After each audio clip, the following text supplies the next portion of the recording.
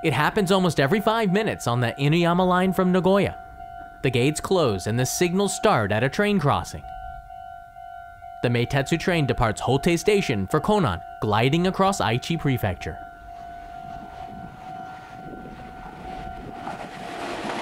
And passing the colossal Buddha of Hotei and his sunglasses.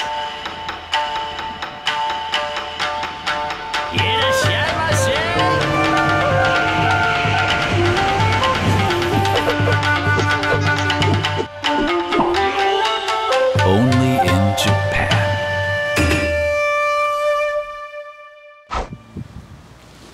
So here we are in Aichi Prefecture, not too far away from Nagoya. This is Konan. It's very famous for its Buddhist culture. You'll see little Buddhas and temples all around the town. And if you're a fan of the traditional and the modern, this is an amazing spot. Now, I love trains, kind of a train otaku. You'll have the Inuyama line going by here every five minutes. And when it does, it takes the cultural to another level. In the distance is an 18 meter daibutsu. It is really big. You can see it from about a kilometer away. And when that train goes by, it puts on a show. Konan is in Aichi Prefecture. The capital is Nagoya, Japan's third largest city, and the area's main Shinkansen stop for Japan Rail's Nozomi Express. Jump on the Meitetsu Inuyama line for 30 minutes and you'll reach Hotei Station. And just a few minutes walk from here is a rail crossing that is pretty unique.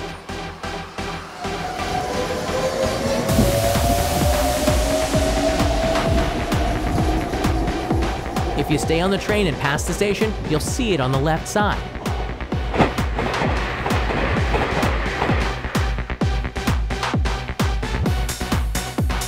It's in view for only two seconds.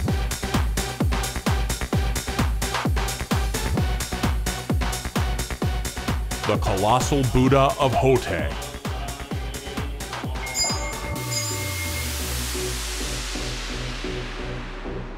Standing in front of it, all humans are small. This sitting Buddha statue is 18 meters high, made of cement, looks to the southeast, and has a grandfatherly stare. It's privately owned and 2 meters higher than Todaiji, the great Buddha of Nara. Many come here when they're sick, for healing, or to find a path in their lives. Me? I came here for another reason. If you position yourself just right at the train crossing, you'll see the hippest Buddha in Japan shine down.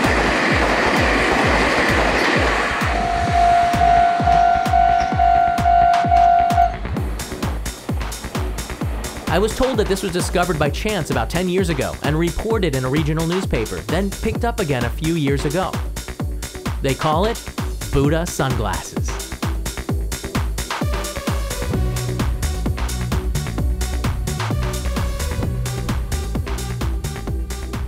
You can see that the light is starting to go down, the sun is setting, and I'm really curious to see what does the Buddha glasses look like at night. I mean, is it some kind of party? Is there some sort of techno vibe going on?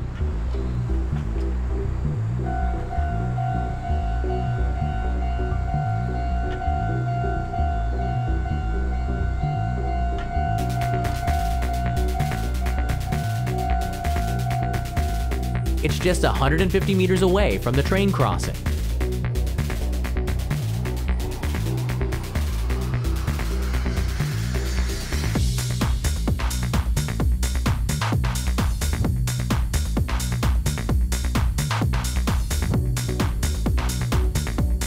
Privately owned by Dr. David Maeda, and I went inside the back where he has a clinic. He helped his father build it as a kid, and I wanted to know more about the Daibutsu's history and why it was built at all. I don't know. I I have no idea. Just as he said, uh, we're going to start the big, big, uh, statue. Uh, it's, uh, help, it must help everybody, the whole family. I carried the sand and the stone and then the concrete, uh, you know, by, by the shoulder. Did you think it was it was crazy to build something like this? I, I, I don't think uh, crazy at that time, but it's now uh, he was crazy, really. You can see his father, Maeda Hidenobu, in 1954 in front of the completed Daibutsu, with nothing around except for fields. When the silk industry ended with the invention of nylon, locals turned to farming, and then it was swallowed up as a suburb of Nagoya and its new industries.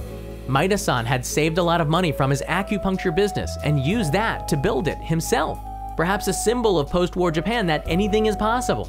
The view from the Daibutsu's inauguration in 1954 shows a completely different area when compared to today. Growth from Japan's economic miracle years from the 1960s to 80s is obvious to see.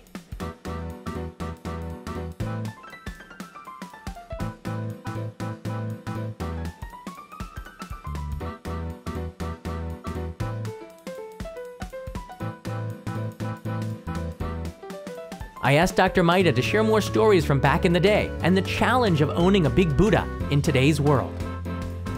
People comes and then the, the people pray pray for the, you know, uh, uh, pray for the health to the uh, family and then uh, everything good luck.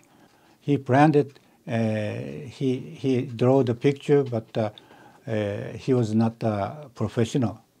Ah, the, -huh. the guy. No, no architecture everybody says, you know, my father is great, and then uh, he did a uh, good job. So I proud it, but uh, now uh, family getting old, who gonna maintain this for the future? It's uh, this is a main concern. The Daibutsu is showing its age after being renovated once at great cost decades ago.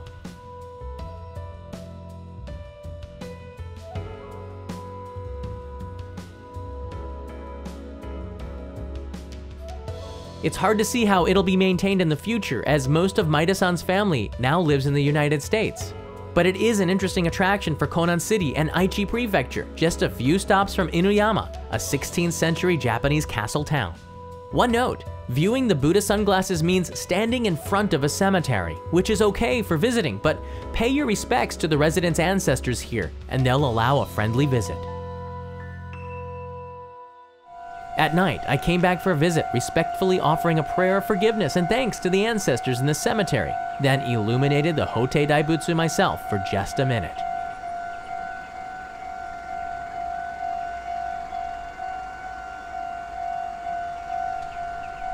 It's quite a sight.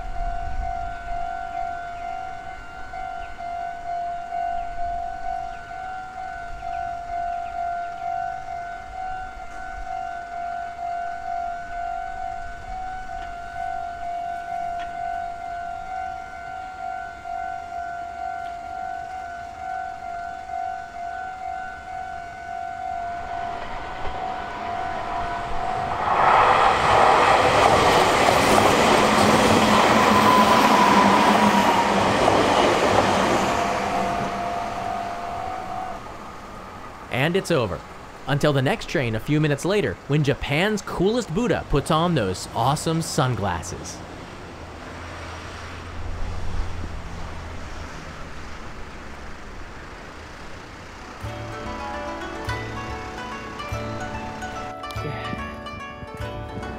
Now my sunglasses might not be as cool as the Daibutsu Buddhas over there, but this is an incredible spot. You got Nagoya not too far away, Inuyama, a castle town with a lot of delicious foods, Gifu Prefecture with Seki City and Mino is not too far away. If you do come into this area, do keep in mind that you are right in front of a cemetery. Be very respectful, keep the noise down, take lots of pictures and share your experience. If you do come to Nagoya, definitely hit the Buddha sunglasses spot. It's on Google Maps. Thank you to Dr. Maeda for his time and sharing his family history with us. And don't forget to subscribe to this new channel, Only in Japan, created and produced by me, John Daub. If you like extraordinary adventures and stories from a faraway land that will inspire you, put Only in Japan, this new channel, in your subscription list. 20 times a month, Only in Japan goes live streaming from here. You can support the channel on Patreon and the Postcard Club from Japan, and we've got you covered Instagram, Facebook, Discord, and Twitter. Thanks so much for watching. Mata ne.